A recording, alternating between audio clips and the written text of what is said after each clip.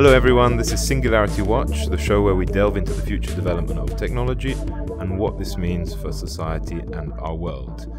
I'm Ollie, and today our usual co host, uh, Kavya Pearlman, is not here, so we're going to say hello to Marco Magnano, who is the editor of the show.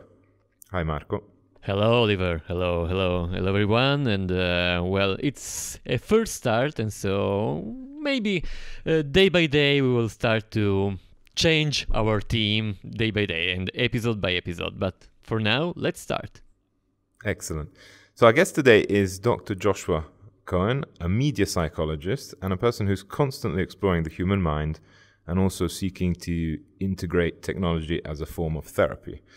Um, so I'm going to jump right in and ask you some some stuff, uh, Josh. Uh, most people have some notion of what psychology is and what psychologists do, but uh, as I mentioned before, I'd wager to say it's often a wrong one, as happens with many jobs which have an abstract side to them. Uh, so they become kind of something mystical that we don't really know what's going on.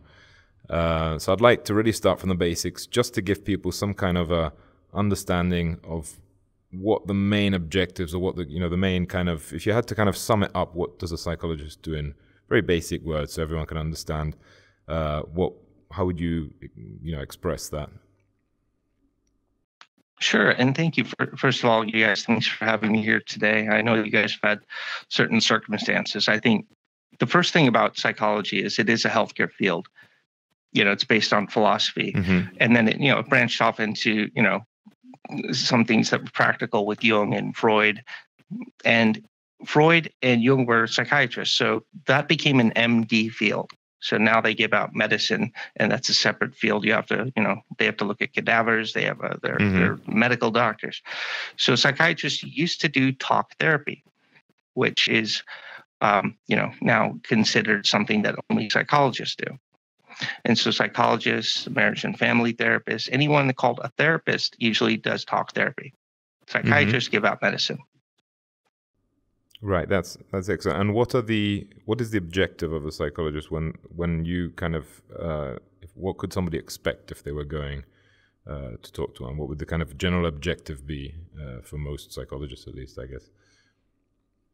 Well, I think you know, contrary to what a lot of people think, you know, psychology is about. I believe it's about appreciating life because the the idea of it being based on psychology and philosophy is sort of this is where it should be. What it's actually become is symptom reduction. So, mm-hmm. what Freud said is it's about love and work. So that's that was kind of the goal. I I would hope that one would aspire to become more, more focused on just survival, though but that's what the insurance companies usually reimburse for. So if you need more support, oftentimes psychologists will work with coaches and they actually start looking more towards you know the future. They don't have the oversight or the ethics uh, that mm-hmm. a licensed clinician would have or the privacy laws. So that's one of the things that happens in therapy is you get privacy that sometimes uh, you know is taken so seriously that I, I, could go into that for a while, but it's the same as medical doctors in that respect. it's in, in right. the psychology, you know, the HIPAA laws. But there's um, there's different laws all over the world. Okay. But that's that's what they provide. I would say is you're really trying to appreciate life and make your quality of life better. Okay, and um, uh, just a couple of quick questions, and then we'll we'll move on to the actual media part of it. Um, but in terms of approach, there are many different types of uh, schools of psychology. What is your uh, main kind of school of thought, and what type of psychology do you provide? Oh, I love that question because I, I, I started out working with, I, I love it because I, I love working with addictions. And I'll tell mm-hmm. you why, because there's a lot of trauma and at the root of it most of the time. And so I prefer working with trauma. So it's not so much the particular school, because with, with addictions, you really have to work with like evidence-based cognitive behavioral. My my mm-hmm. supervisor said, righty tighty, lefty loosey. Make sure you really make sure they have some tools before you go into the deep end. And then the, the, the, school of thought there after that is the psychodynamic approach. So the, the evidence based is called cognitive behavioral approaches. Mm-hmm. Usually those are the evidence based ones. And then there's a lot of evidence also in the relationships or getting to the root of the problem. that's more relational that's closer to what psychodynamic is about so it's not so much the tools as it is relational having that therapeutic relationship that's really okay. what heals in psychodynamic uh, so are we talking about when you talk, talk about uh, dynamics are you talking about the different types of relationship dynamics between people in our lives and you know analyzing how people work in in that sphere kind of thing yeah. Or, okay cool um, right, so let's let's get into the to the other questions. um, so, well, no more than I would go on talking for this for a long while, but I don't want to sort of uh, make it a podcast just on psychology. So, um, so 2020 has changed a large part of our lives, uh, starting with uh, uh you know working from home and ending with the structural uncertainty of the era we're living in. Has this been a particularly important year for psychology as well? Oh wow, that that is a huge question. Thank you. It's it's a very tough year for for psychology, particularly uh, media psychology, because we have so many people that are uh, in homes or at in, in new situations without resources. And, and so um, when I talk about resources, I'm not talking about just the mental health challenges. There mm-hmm. are a mm-hmm. lot of physical challenges that people are facing, and they're turning to VR for, for connection. And yeah, they're also looking for jobs. People are not getting uh, the money they used to get. So there's a lot of need out there, and that's one of the things that we're we're trying to head up with our with our programs. Mm-hmm. Is we really, and it's not just money that people need; they need social connection that's really what this is, you know, about. And so with 2020, it's been a huge challenge for the whole world to try to figure this out. How to how to reconnect and, and use these already existing technologies to, to bring that connection with one another. Yeah, that, that sounds like something really important and like an issue you hear about a lot. Um, going a bit deeper, you call yourself a media psychologist. So what does that add and how does that work? Good question. A lot of people don't even know what a media psychologist is. Uh, a lot, like you said, a lot of people don't even know what psychology is. So, media psychology, in in my take on it, is well. First of all, let me tell you that the educational requirements are that you have to have a, at least a master's degree in psychology. Mm-hmm. Uh, I have a PhD, and I'm actually license eligible, so I a little bit more even higher up on that ladder, but there, there's no like ladder really. It's just if you meet the master's degree level, you're already there. Okay. Um, I've had a background of about 30 years in like film and media uh, training as well. I've trained as an Avid editor in Final Cut Pro in Hollywood. I've mm-hmm. worked in Hollywood for a bit as a freelancer and for some A-list uh, celebrities. And I've also worked on the other end of the, the chair, working with uh, people as under somebody's license. So I've mm-hmm. had a mm-hmm. good chance to really get a feel for what it's like to work with people in media. I've worked with addictions. I've worked with people in hospital settings, community mental health. So um, usually media psychologists don't have that same clinical training. That's something I really want, uh, but it's mm-hmm. not necessary. The media psychologist is usually out there on talk shows or out in the, the like using critical thinking and using the technologies to help people. And I've seen you probably have heard of if you like Dr. Joyce Brothers, Dr. Phil. Mm-hmm. Those are all media psychologists. So they're out there usually helping giving information and, and getting helpful information, hopefully to the and resources to people to enrich and better their lives. Right. Okay. That's actually a figure I didn't actually know about. Uh, I mean, I I know that it exists, but I didn't know it had an actual title to it. If you know what I mean. Um, until you know seeing your your um, resume and everything. Um, so you're the author and a co-editor of the book "Video and Filmmaking as Psychotherapy: Research and Practice." So you propose to make films a part of uh, psychotherapy in uh, academic writing. How does this work? And is this about you know um, self narration, you know, self narrative to you know how we tell ourselves our own life story, something like this? Well, uh, one of the chapters was done by a gentleman by the name of Benjamin Patton. He's the grandson of George Patton, uh, a famous general in World War II. And what mm. they do, and this is one of the unique things to the book, is they do multi-day filmmaking workshops on army bases and you know military bases across the country. And so when they make these movies, they found that in clinical trials, it actually reduces some of the symptoms of post-traumatic stress, which a lot mm-hmm. of people in, with COVID, because I've had COVID, it can create symptoms of post-traumatic stress.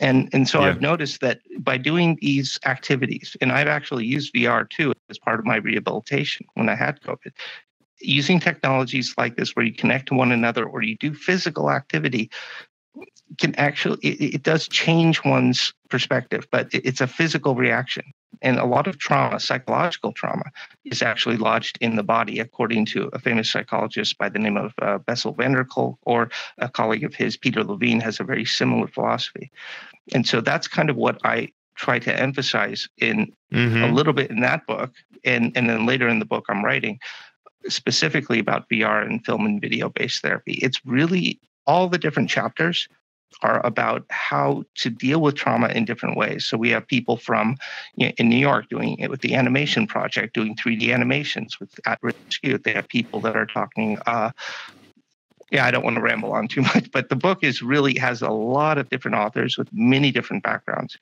and that one that I mentioned with uh, General Patton's grandson is is a real interesting and unique approach. I would mm-hmm. like to do something like that with VR well, one of the reasons why I'm here is to start looking for developers because I'm a media psychologist. I'm not a developer. I want to find ways of making movies like that to help people suffering like that with that are isolated that want to make better movies to reduce their symptoms of post-traumatic stress, to reach out to one another and and have that better connection. And so I think VR is a wonderful place to do that. Yeah, absolutely. I think it's like it's kind of perfect timing as well for this kind of uh, thing. Especially you were mentioning with COVID um, the fact that it does create some uh, you know post traumatic uh, stress, and I'm wondering is is there any possibility that uh, is there any chance that um, uh, something like that can influence autoimmune um, symptoms because they now they now think that the long COVID symptoms, you know, the long haulers are connected to um, autoimmune reactions of the body. So I'm wondering if there's a psychological element to that as well. Absolutely. Uh, uh, some of the things I would say to start off with is if you have a positive mental attitude, it really does affect your immune system when you have COVID. The other things I would tell people is drink a lot of hot coffee, hot tea, or hot water because the Chinese say that it could flush it into your the virus into your stomach and and it could die there. If they're wrong, mm. it's just hot coffee, hot tea, or hot water. Yeah, exactly. And they do this. no, it, I mean, what difference does it make? So do it anyway, make you feel better, and even if it's a placebo effect, that will also boost your positive mental attitude. Which mm. will affect your immune system. So that is that is a definite fact that if you can fool yourself into thinking it works, then it will work. Yeah, and especially as uh, as there was even a research, a piece of research mentioning that even if you know about the placebo effect, it still works, and they've proven that. So that's that's really interesting.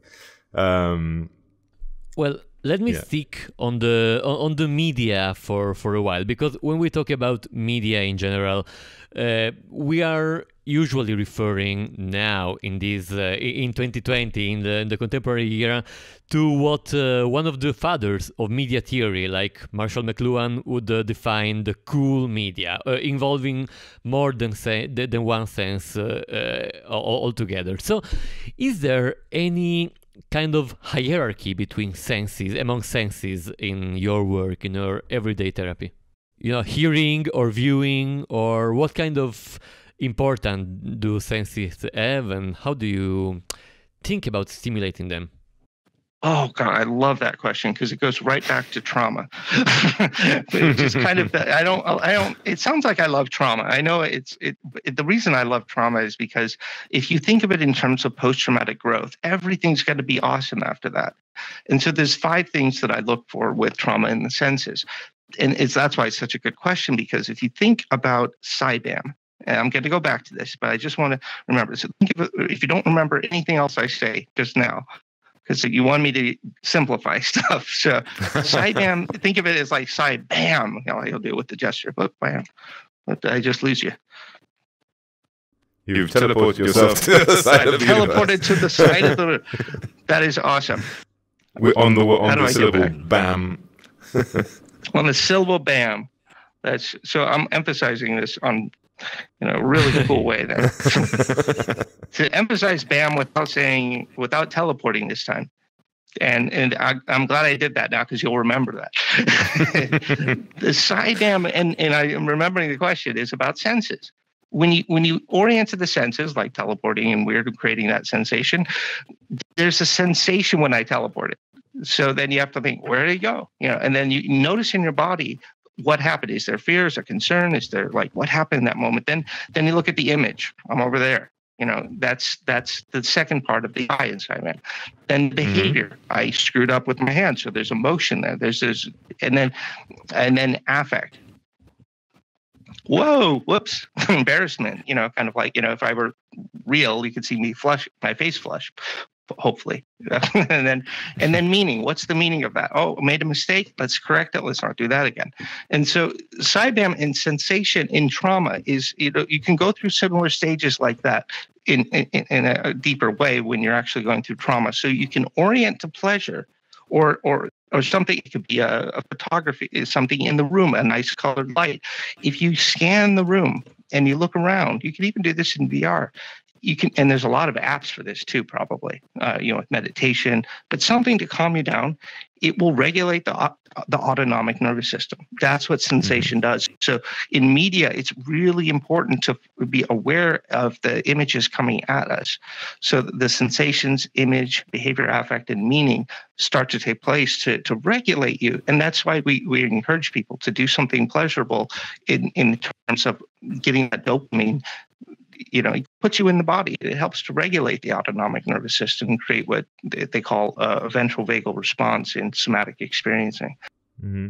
Which it might be better to clarify uh, when you know you talk about the autonomic system, because you know for anyone watching, that's basically your fight or flight versus uh, rest and digest system. So you know being relaxed and uptight or whatever. Um, so that's an acronym, right? Side yeah. bam. So maybe what I was doing, yeah. So that's the acronym. I wanted to leave the things with simple tools, not just the long explanation. So if nobody remembers anything else I say today, remember I teleported when I said "bam." you get a nice laugh too out of it, hopefully, and, and we'll remember off the gag reel. Because humor Excellent. can really, it's an involuntary response, and so is a lot of the sensation. But thank you for that question. I really appreciate it. Um, is there a story you find particularly interesting? Uh, of course, with respect to the privacy of the patient, but something that you can express or say. Hmm. Stories, uh, maybe in, in relation to uh, trauma, addictions, or maybe the media. Uh, what, what would what I can think of a lot of stories. Well, I Um, don't know. You choose. Okay, I'll go with the book then, because I had an 11 year old boy one time, and I, I remember because I published on this. He we put him in front of a green screen. He was suffering from a lot of uh, abuse from his father, and so the, the poor boy just he could not cope with the fact that you know he had so much anger. And the reason I put this in the book is because we, we were using the technology at the time, and it was interesting to me that with certain kinds of art therapy, he would react with uh, like volcanoes. He would draw things that would show anger. But when we we, we shifted in the in, in our with the technology inter, you know, uh, intervention, um, which later would become something like VR, it, it looked a lot to me like he was shifting towards sadness, which is really good about connection. Sadness is as horrible as it is, it also brings people closer together.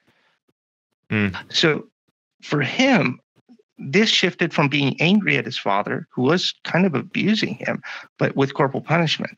But he became sad and sort of accepted what was going on, even though there was nothing we could do legally, you know, to protect this boy. But he was able to kind of say, look, I don't deserve this, but I can still be sad about it. And then it brought us closer to connecting to him in the stories that we told really reflected that. And so, you know, he talked about a good boy from a happy home and a good boy from a sad home. And when we use puppets, which in VR would then become like avatars later. And so if we could do Mhm. that if I could go back, I would definitely use avatars. So then we could expand that universe for him. Because as soon as he got in touch with his sadness, then he was able to start imagining again. And that's what So- happens in trauma. Um, does that mean that? Uh, does this mean that in this case, at least, the anger was in some way secondary to the sadness, like it was a secondary emotion to that, or uh, they're just different reactions to? Uh, a lot of depression, people don't realize is that it's anger turned inwards. You know, and you get mad at yourself. That that's a lot of what depression is. Uh, it's Okay. it's a lot more than that, but uh, that's it's it, our emotions are really complex. We are we are capable of feeling so many different things at once, and we're we're almost illiterate. And a lot of businesses don't realize that board board members with if they could get more in touch with their feelings like the, uh, there's certain companies like look at kodak or blockbuster Mm-hmm. maybe they could have done things to adjust to the environment a little differently. We're all facing those challenges now. I've heard stories of different companies that maybe they needed to have been more emotionally intelligent to move to move forward. And so this happens in families, this happens in systems. If we could learn to get that language, some of the things that happen when you regulate the autonomic nervous system, you get out of the fight or flight response and you start getting into connection. Yeah, um, I'm interested in you. were You said that you know when you went towards the technological, um, using technological tools, that allowed him to make different uh, kind of adaptations and and you know react in a different way and find different things within himself. So I'm wondering when we talk about VR, uh, this is something you're actively exploring. So what is why why do you think this is more effective and how can it be more effective than other types of uh, you know than more traditional uh, tools and you know I don't know I guess what I'm asking is why is it more effective and how can it improve on on what uh, you're already doing basically Yeah, great question. Because what it, what it sounds like you're saying is we have these tools. Why is this even better than what we already have? Yeah. Um, right now, what we have is nobody's even allowed to be in certain areas, especially like I'm in California. We can't even see our therapist uh, in person usually. So we're left with the technology, and most people are doing Zoom meetings. What we're doing here would be fantastic if people would adopt this kind of approach. yeah. I think for many reasons. Uh, one is that you can you can hide behind your avatar. For you know, it creates another protective persona, which makes people feel more open actually about talking because they're less self conscious. And and we Yeah. you know I, I don't know if that's how to. Uh, I mean, it's a way of validating. And so I, I feel that um, the technology is so readily available right now. What what makes it work in the in the studies that we've done is it's the fun part that helps open up what already works with what we already know works with therapy is the therapeutic relationship. And that's what usually heals.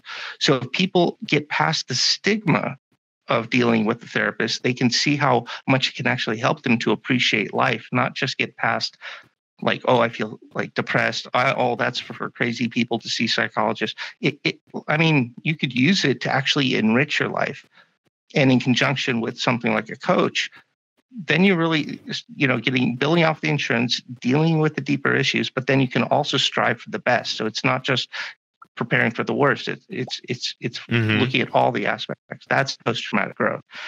So I think in today's technology, we have so many opportunities with telehealth.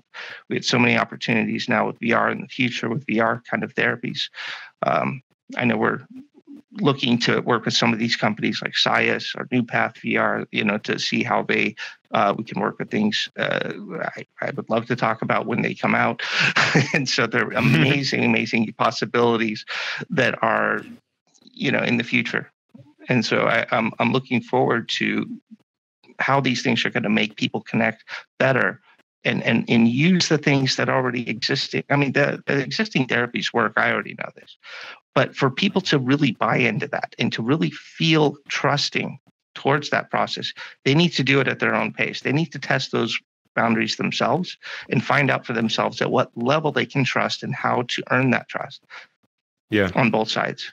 It's like dating. It's like a relationship building.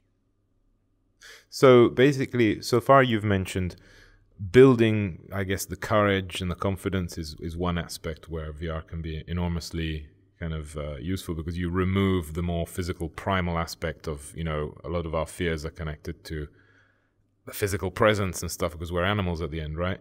Uh, but what else? Uh, what are other fields of application? Uh, one of the things that people have talked about is uh, pain management, um, because I guess on the basis of distraction, maybe. Uh, are there any other things that you would, I guess, put in the list of, of advantages? Well, pain management also goes back to trauma. a lot of Mhm. people that have pain management, they call that a somatoform disorder. a lot of times when not all pain some pain is very real but some people would rather not rather but it's a psychological response Uh, you get this in war sometimes where people cannot feel the psychological trauma because it's too severe so they form like a physical pain. Mm-hmm. and that happens often in, in chronic pain where they're just they're unable to feel it. So we do psychological tests sometimes. It comes up on like the mmpi it'll come up as what they call conversion v. And, and you can see it. It's it's it's real. And a lot of doctors will tell their patients oh it's on your head. That's really like gaslighting. That's telling them oh you don't feel what you feel. Now they feel more shame on top of their trauma and their pain Hmm. gets worse but you don't treat Yeah. it with psychodynamic. You don't treat it with the therapeutic relationship. You treat those with the evidence-based tools because you don't want to re-trigger their trauma and make their pain worse because they will feel it. And you really have to validate that and and and, and respect that process when you're working with them because they need to they just need to decrease the pain. And sometimes only medication can really work in that situation. I don't Mhm. really work with the, that field although i know experts that do but that, that's where you would use biofeedback and that's where you would use a lot of the um, medicine as well as uh, cognitive behavioral therapy That's that's really awesome. Um, I mean, I think that you've kind of struck on something that I hope more people start to kind of more clinicians start to buy into this kind of uh, thing. I think it's slow in healthcare. That's my feeling.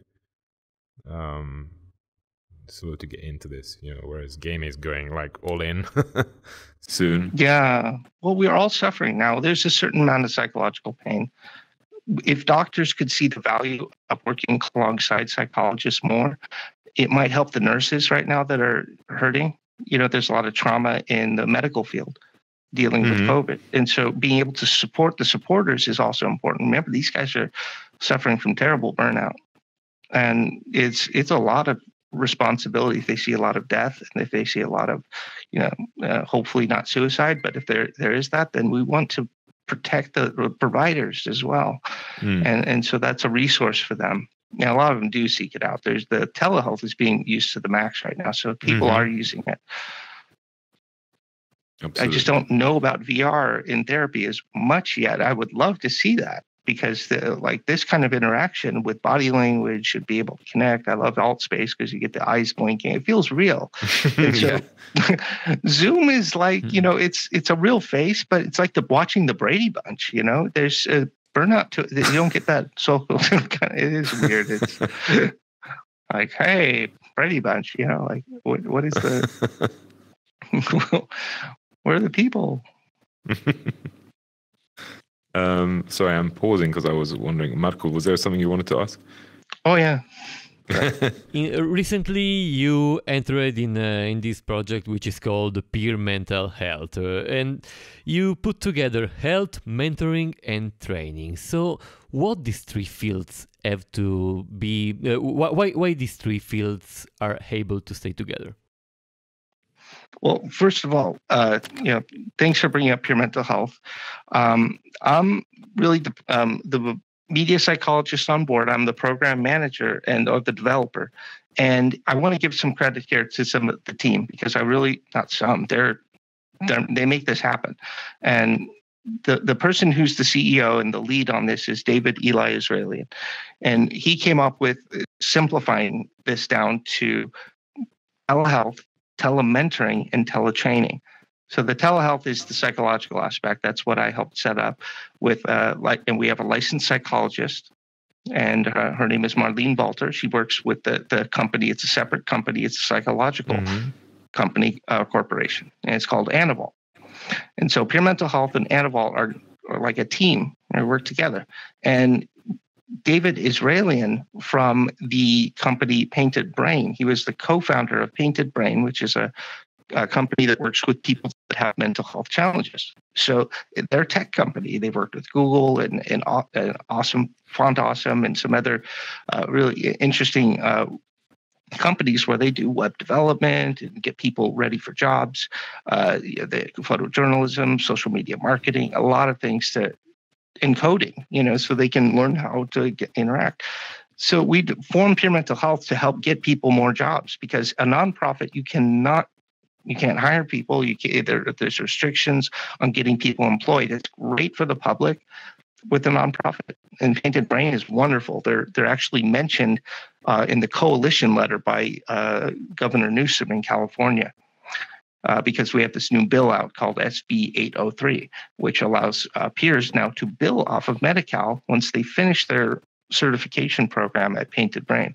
So we're working together, and we have some things that we're we're trying to propose to uh, help out people that are you know stuck in hotels and getting them opportunities to get them back to work.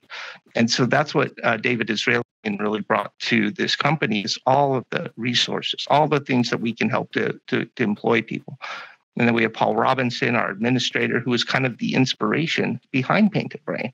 And so we have a, a, an incredible team also of like Kevin, who does our social media, and then uh, Adam Brackney, who's our uh, he's uh, like our program manager and helping us to scale this because we want to help out people in other places than just California uh, because we can with VR in the places that we're located. So and, and, there's there's a lot more to our team. It keeps building, it seems like, but we have I want to make sure that we really recognize how much effort and time these people put into it because it's really Eli's vision. We call him Eli, his name's David, but mm-hmm. just to keep it from getting confusing with the other David at Painted Brain.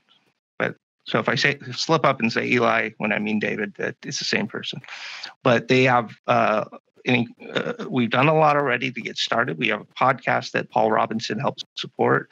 Uh, I wanted to plug, I guess, because it's it's a great podcast about the homeless, and they're really working on trying to get better affordable housing. And the name of the person doing that is Carrie Morrison. So if you look for that, it's on Spotify and Apple iTunes and all that. It's uh, uh, it's a great podcast uh, where they really get to some of the root of what I think is going to be plaguing a lot of us now is that we we need to get basic needs that's what fight or flight can kind of bring up in someone. The part of the brain is the amygdala. That's the fear response. But it's also, strangely enough, the part that makes us want to be seen and heard. So that's why mm-hmm. you might see people like looking around the room a lot if they're fearful. They're, they're also checking, you know, they're checking around to see if they're safe, but they're also checking to see if they're seen and heard. I think maybe the brain was designed that way for a reason. But whatever I reason guess, uh, it's connected. I guess something to do with animals not being left behind by the pack, maybe, or something like this. yeah, like when they're when they're injured, I don't. yeah, kind of the... that's a good. I've never heard that. That's a good. That's interesting. Maybe talking about uh, another aspect that I'd like to to to stay focused with you.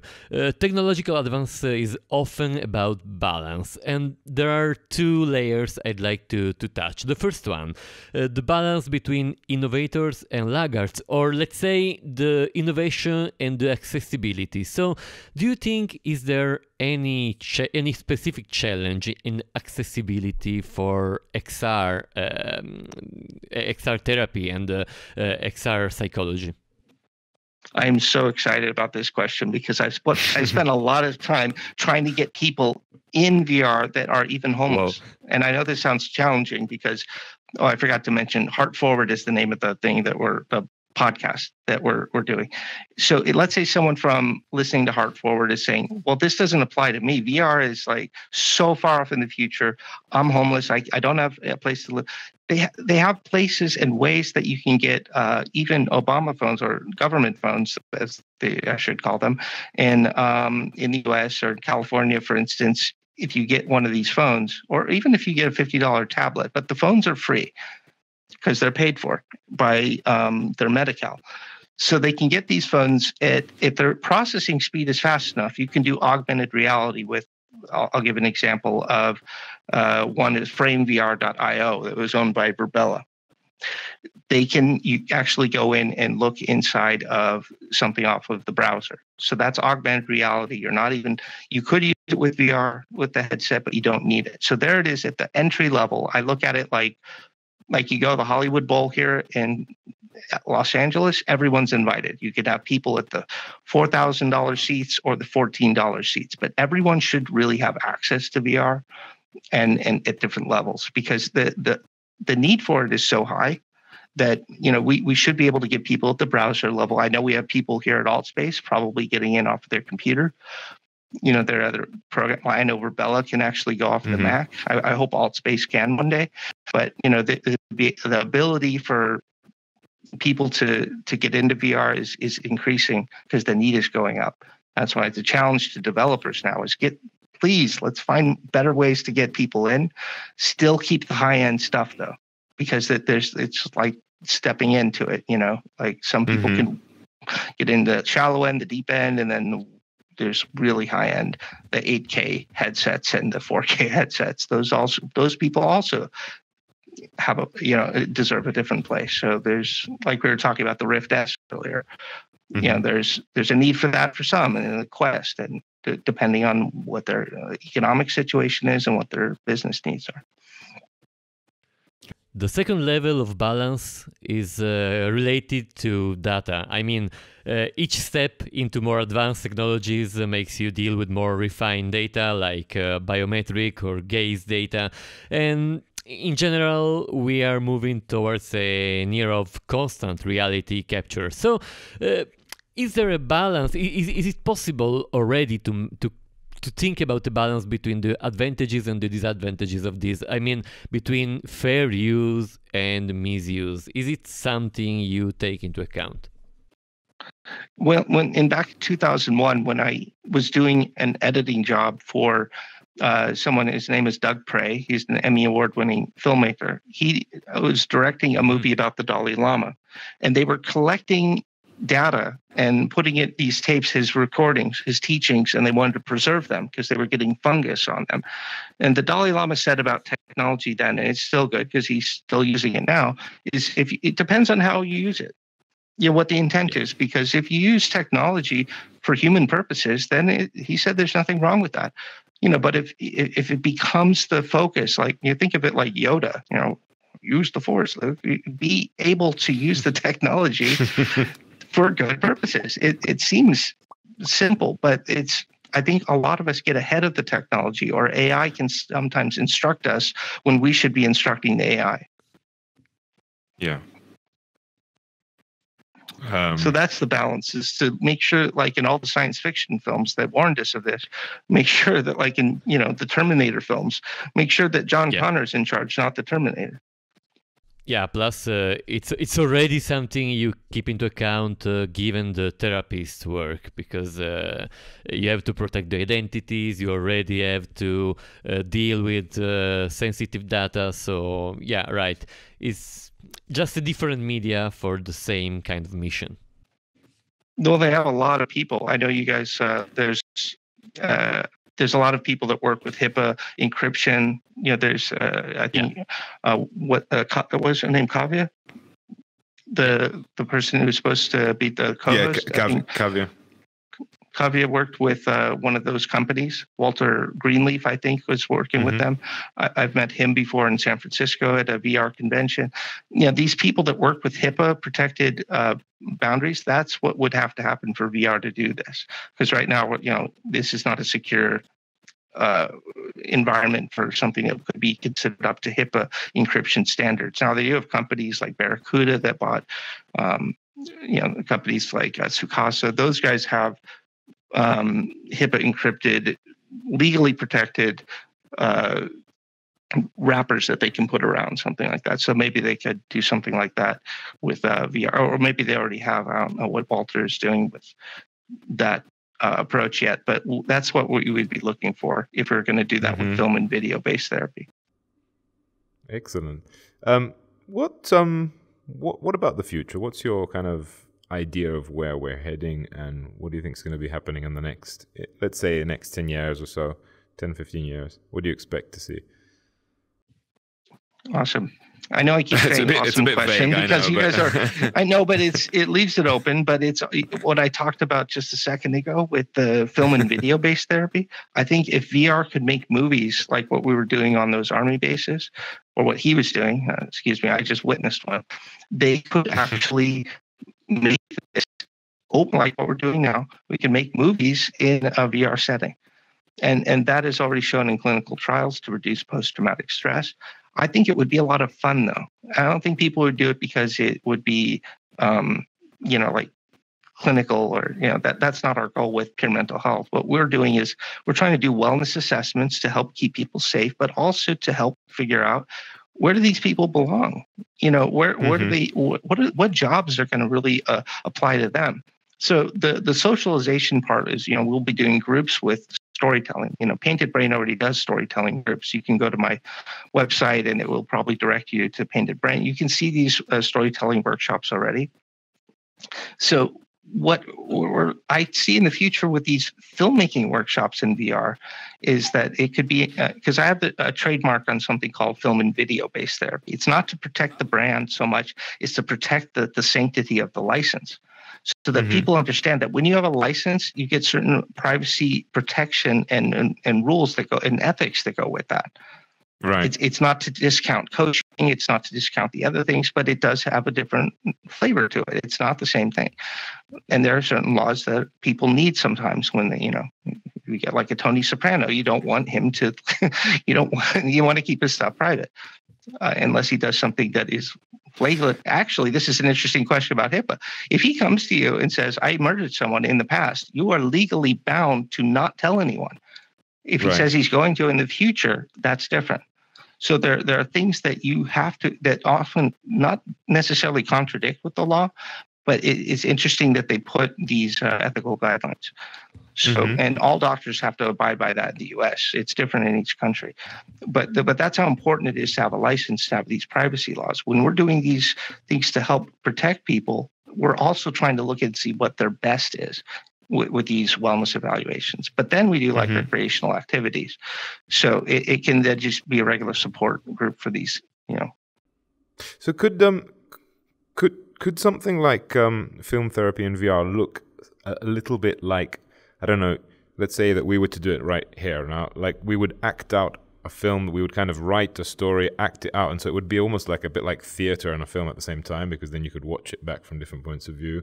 Or is that a wrong idea? So we're, we're pioneering it. So like, there's a guy by the name of Frank Chindama who has a film school in VR. It's called the Virtual Film School, and so they, they you can move the cameras and lights around just like you would here in your studio. And Mhm. um, yeah, you can edit it later. And, and they shot a lot of movies like this. Uh, I know uh, The Mandalorian with Disney, they do this. Uh, They did The Lion King, Jon Favreau. Uh, And so a lot of those directors and producers already before COVID were using VR to make feature films, not just the Mhm. animated. So to teach people in that environment is already valid. To to use my trademark with something in another environment, and I wouldn't limit it to just me. I want people to know about this. I want people to steal the idea and do it because I can't develop it. It's something that should be out there for everyone. We can all you know, the license kind of protects the field and the money, but the and, and the ability to help and heal people. What I want is for us to share this and have a synergy so that people can can collectively use this and and and build these kind of groups. There's enough. I would love to put myself out of business. Think about it. There would be no more suffering in the world. So if we could get, eliminate trauma off the planet, there would be no life either. So the ability to kind of move and grow with all these making these films, the mechanics of it, I think in VR would be very doable. You know, we've already seen it happen. It's just the shift from teaching to therapeutic practice. Then you run into all those HIPAA problems that we were talking about with the with the privacy. So that that's the trick I think to doing it in VR is how do you encrypt it properly and how do you and Walter Greenleaf has worked on that with other things. I think he I believe I have not verified that, but I would say that all the people that work with the HIPAA aspect are either are working on it or have uh, it in process. If not, I'd be really surprised if, if people were Mhm. not diligently working on that. Um, before we get to the very last question, I just wanted to ask: Is there somewhere people, if people wanted to be a part of this, like if people wanted to look into this and kind of uh, contact you guys and uh, I don't know, somehow be a part of it, where would they have to go?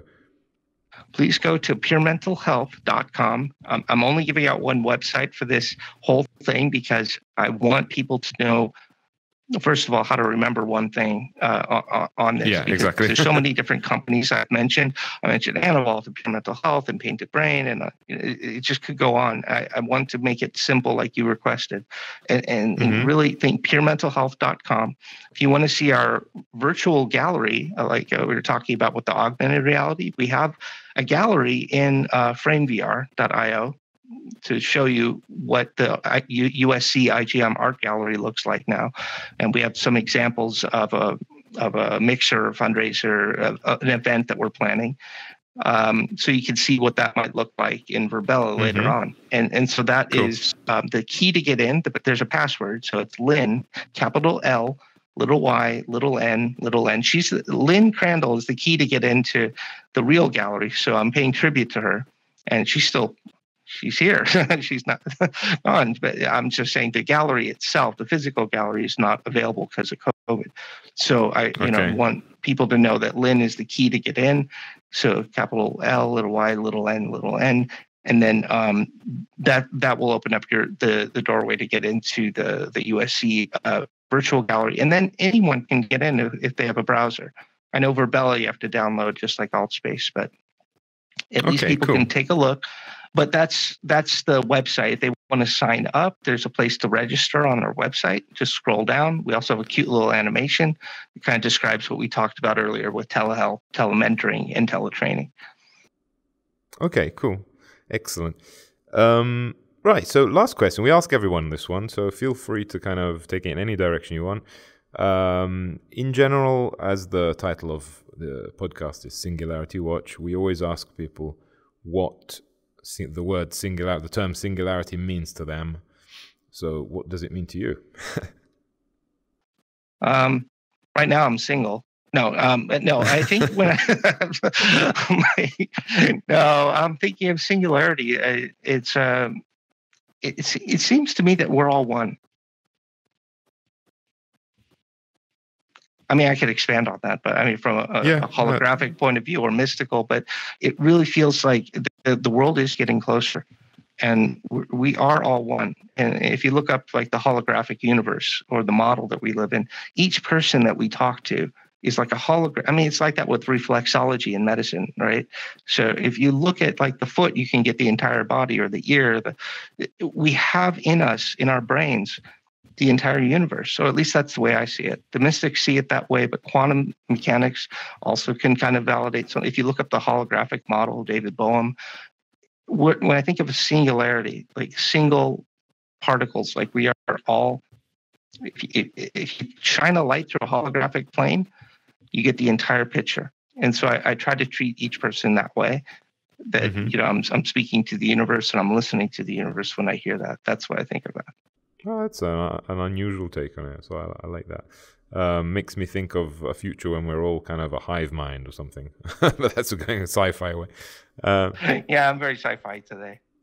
So thank you for being here. Um, I found this, uh, you know, really interesting, and I think um, if I took away one thing from it, it was basically when you mentioned, you know, your definition of psychology. Kind of what I understood from it was it's about basically feeling right or feeling like you're in, okay with yourself. That's kind of my idea of what you've given me uh, talking about this, and uh, kind of that anything goes if it can get you there, as long as you're not hurting other people, of course. Um, yeah, the three things I would leave with are: it's to me, it's all about love, the appropriate boundaries, and the occasional cheeseburger. I like that. Excellent. And we, on that, can we replace it with pizza? Well, let me think about it. Uh, that might be a different branch of psychology, but no, I'm yeah. kidding. Yeah, that's very fine. so, um, I also want to uh, thank uh, Marco Magnano for being on the show today. Uh, thank you, editor. And uh, hi to Kavya, who isn't here today. And a hi, well, not a hi, but thanks to all the rest of the team. which is uh, Tim Stifladim, DJ Zion, Aspen Darkfire, and Burger Tamagotchi. So you guys, I'm I'm uh, calling you by your nicknames today, for, by your alter egos. Um, follow us on readyhacker1.com. You can also find us on uh, Facebook or YouTube under the name Singularity Watch, where you can avidly consume our shows and subscribe if you want to keep updated.